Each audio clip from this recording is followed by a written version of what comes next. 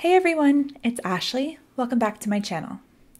I am so excited to be filming this video today because for a very long time I have been just compiling some things that I have bought for a giveaway or that I was gifted that was a duplicate and I looked at my pile and thought, yeah, it's time. So it's a really nice big pile of lots of amazing companies.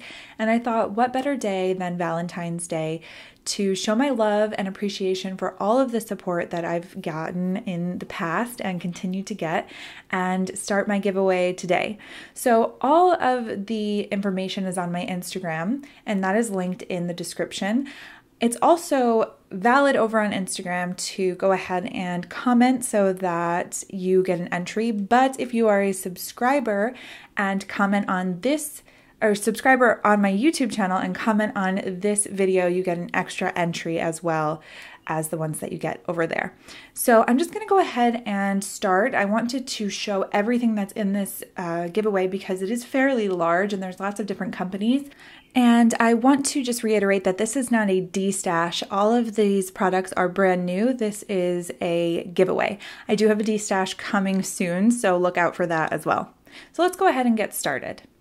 To start, I am just going to pull in random pieces. None of this is in no particular order. I just wanted to make sure that I showed everything. So the first thing I'm showing is this Avery Elle stamp and die set, and it's called Beside the Sea. It has this really adorable sort of like beach house scene and lots of different accoutrement stamps that you can add as long as well as the sentiments and the matching dies with that as well. The next thing that I have is this Kindred Stamps stamp set and it's called We're in a Club. It's got some really adorable little images and sentiments that go along with it as well. I then have the Trinity Stamps Mr. Snailman stamp set. This was released this month, February 2019, as sort of like a special little Valentine's Day release, and I absolutely love it. I then have one of the Inked Girls from the Ink Road. I believe this was July, month of July, but I'm not 100% sure. I also have Lucky Friends from Heffy Doodle, and this is perfect to get right now so that you can start making some St. Patrick's Day cards or scrapbook layouts. And I really love the little leprechauns on here.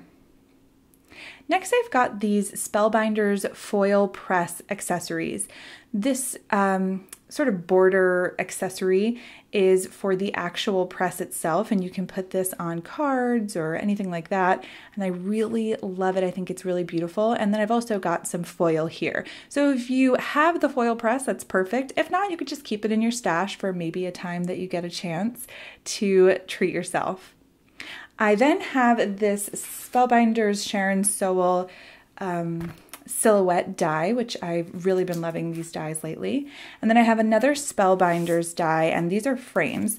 So there are some nested in there as well, so that you can make sort of like a pop up frame. And these were actually, this specific set was given to me at Creativation, and I got two of them by accident. So I wanted to share the wealth.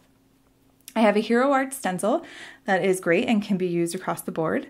I also have this Jane Davenport die, which I also got two of at Creativation, and I think that this is so cool and I can't wait to use it and also see what you come up with. Next, I have a Simon Says Stamp background stamp, and I was given this by somebody who already had the background stamp because this is what was given out at Creativation. But this is the plank background, and you can do so much with this. I have yet to use mine, but I'm planning on it very soon. This stamp set is from the Sweet Stamp Shop, and it's called Circus Life. And I really love the images on here, and I made a really nice masculine card with this stamp set. It was really easy to do. This is the Sweet Stamp Shop's uh, wave dies, wave border stitch die, and I also use it as clouds if I hold it the other way, and it's one of my go-to most favorite dies. This is a Hero Arts monthly kit that I never got the opportunity to open, so I thought, why not share the wealth? I love this die that has all the cutouts and all of the uh, accompanying stamps with it. I think it's really beautiful. Next, I have the Altenew Dodeck cover die. This was gifted to me, but was a duplicate. I already have this die because it's amazing and can be put really on any background on a card, and I absolutely love it. It's very intricate and beautiful. For accessories, I've got a Colorbox Pigment Glitz Gold um, ink, and then I've got three Nuvo drops one in ebony, one in white, and one in glow in the dark. So here is all of the giveaway. I hope that you enjoyed it, and I hope that you'll leave a comment here and over on my Instagram for your chance to win. Thank you so much for stopping by. I'll see you soon. Bye.